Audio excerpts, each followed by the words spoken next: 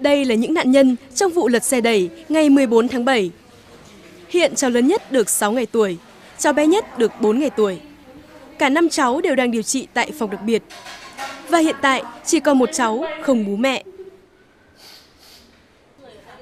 Còn tại phòng sau sinh, ba ngày nay, ba mẹ trẻ này không lúc nào thôi khóc vì lo lắng cho sức khỏe về sau của con mình.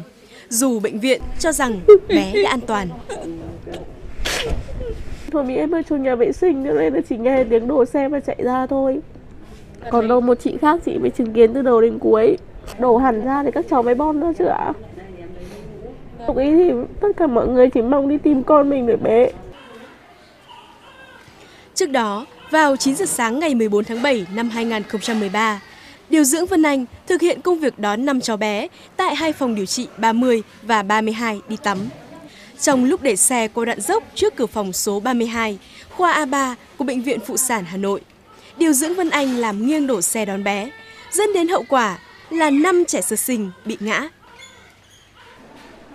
Phía bệnh viện đưa ra lý do là sàn nhà trơn trượt, nhưng theo các sản phụ và người nhà thì sự việc không đơn giản như vậy. Chiếc xe đẩy các cháu đi tắm đã được phủ kín tấm vải vô trùng.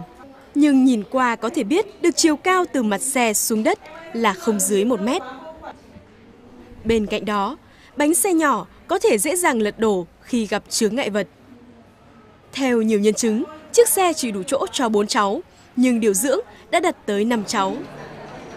Khi ngã, có cháu bị văng ra tới 2 mét. Phía bệnh viện chỉ cam kết theo dõi sức khỏe của các cháu đến khi 6 tháng tuổi. Đây là nơi mà điều dưỡng của Bệnh viện Phụ sản Hà Nội đã đánh rơi 5 cháu bé sơ sinh. Và theo như lý giải của bệnh viện thì do sàn nhà ở đây khá là trơn trượt. Nhưng mà rõ ràng để những sự cố đáng tiếc như vừa rồi không xảy ra thêm một lần nữa thì cần thêm rất là nhiều cái sự cẩn trọng cũng như là tinh thần trách nhiệm của các điều dưỡng cũng như là các bác sĩ nơi đây. Theo như lý giải từ phía bệnh viện với báo chí, thì chiếc xe bị đổ là vì nguyên nhân khách quan. Cụ thể ở đây là sàn nhà dốc và trơn trượt. Tuy nhiên, rõ ràng nếu chỉ trơn trượt thì chiếc xe sẽ lăn theo chiều từ cao xuống, chứ không thể đổ ập khiến các cháu văng ra ngoài. Nhiều ý kiến nghi ngại rằng bệnh viện đã có sự cân nhắc khi đưa ra lý do này vì chiếu theo luật pháp, nếu chỉ là sự bất cẩn vì nguyên nhân khách quan thì điều dưỡng này chỉ bị khiển trách. Ừ, nếu xác định được nguyên nhân là do trơn trượt, có thể là do khách quan.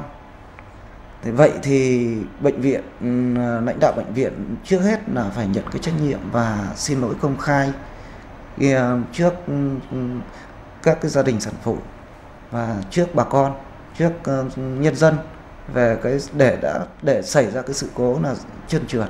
Quả thật là cũng rất lấy làm xin lỗi các gia đình thì chúng tôi đã gây ra cái chuyện này. À, chúng tôi xin nhận trách nhiệm. Chứ là với điều dưỡng này thì chúng tôi cũng thấy là tâm trạng cô ấy lo lắng quá, chắc là ngoài ý muốn thôi, cô ấy trượt chân rồi cô ấy sơ sẩy thôi. Còn theo các sản phụ và những người nhà chứng kiến thì lý do không phải là sàn trơn trượt mà vì điều dưỡng Vân Anh đã đẩy cửa đập vào xe tắm trong lúc bực tức dẫn đến chiếc xe bị lật nghiêng và năm đứa trẻ rơi xuống đất. Bác ở bên kia thì 30 nghìn còn có một chị thì không kẹp tiền vào.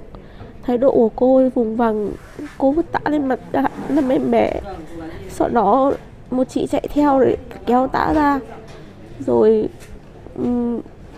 cô y tá đi đóng sầm cửa và thấy là xe đổ. Đã các cháu ngã văng ra cháu thì mang ra một mét. Cái cháu găng từ bò lên nhau. Em bị sưng đến cả đầu.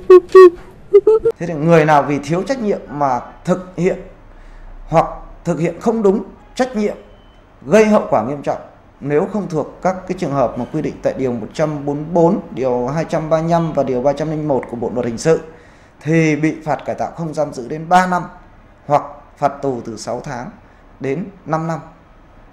À, ngoài ra thì ừ, người điều dưỡng viên này còn có thể xem bị xem xét ở dưới cái trách nhiệm mà bồi thường thiệt hại theo quy định tại điều 307 ờ, của Bộ luật dân sự. Sau 6 tháng nếu có vấn đề gì do từ chính cái nguyên nhân đó mà lúc này mới lại ờ, đưa ờ, khoa học pháp lý về về về về ừ, pháp y vào để mà làm việc thì thì thực ra đó là cái điều vô cùng đáng tiếc. Và đây, hiện trường địa điểm xảy ra sự việc là sàn gạch trước cửa buồng bệnh. Đoạn dốc đã được tăng độ ma sát một cách cẩn thận như thế này. Bên cạnh đó, bên lề sự việc này cũng có những lời bàn tán ra vào của người dân về chuyện bồi dưỡng tiền tắm bé cho các điều dưỡng. Không đưa tận tay cho y tá. Anh để vào đâu ạ? Để vào ờ, người em bé. Thì đưa cho người ta tắm cho nó sạch sẽ các cháu. Câu chuyện xoay quanh sự vụ năm trẻ sơ sinh bị ngã vẫn chưa thể dừng lại trong nay mai khi có sự mâu thuẫn giữa cách giải quyết giữa bệnh viện với yêu cầu tha thiết của gia đình các sản phụ. Chưa quy định chỉ theo dõi sức khỏe các cháu đến 6 tháng tuổi, các gia đình chỉ còn biết kêu cứu sự vào cuộc của pháp luật. Bạn bạn bạn xin lỗi.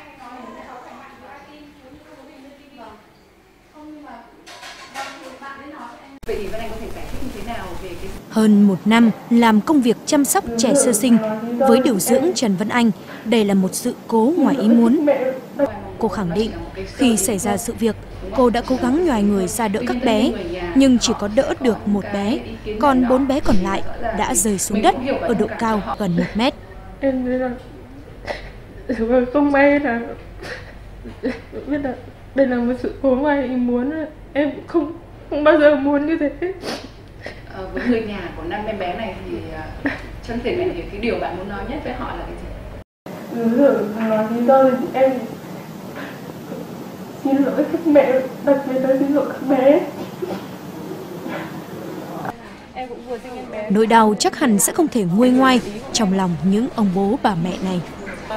Họ là người đã chứng kiến sự việc và ở một mức độ nào đó, những ý kiến của họ có thể phản ánh được một phần sự việc đáng tiếc này.